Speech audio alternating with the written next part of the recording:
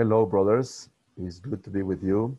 Um, this is a short report of what the Lord is doing to our ministry in this year, complicated year 2020. Uh, let me start by sharing a, a, a, picture of my family. This is a, a recent picture. Uh, with this picture is has been taken a couple of months ago. Uh, my wife Claudia is right there. My son Andres is here. Paola, who is working in uh, in Urban Mosaic Ministry in the east side of the city. Uh, my youngest daughter Esley with her parrot, which is now part of the family, as you know. Okay, um, let me share a little bit of what the Lord has been doing in this complicated year. Uh, everything has gone online, as you know, uh, but we continue doing uh, ILI leadership training in Latin America. In matter of fact, it has been an explode because now we have 70 countries that are involved doing ILI training or leadership training, like Mexico, Cuba, Guatemala, Peru, um, and really has been a blessing uh, because going online make everything easier in one in one sense. But also the blessing is we have been doing English sessions now because some of the countries speak English, like Belize or Guyana, uh, we even been we even been part of a team that did ILI training in Willoughby Hills Friends Church in Ohio, as you know.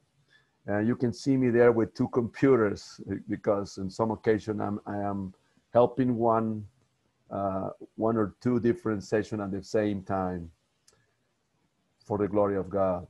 Uh, second thing we have been doing is mentoring leadership training teams in about 14 different countries.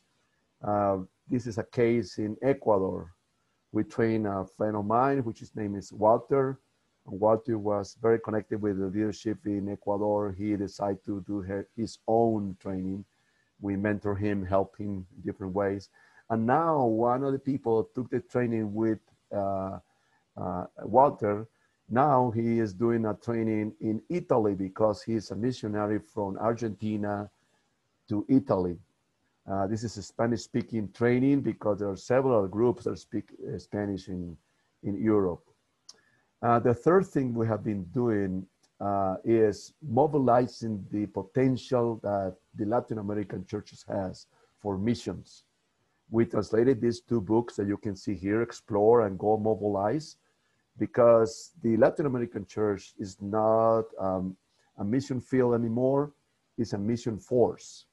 So picture this, 90 million, I have a map here, 90 million people from Latin America are Christians, 90, 90 million people.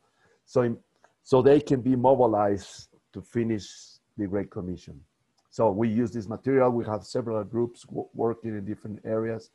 And also, the fourth and the last is we have been working with Global Focus Ministry that has 30 years working in, in the United States, but now is, is going in Spanish.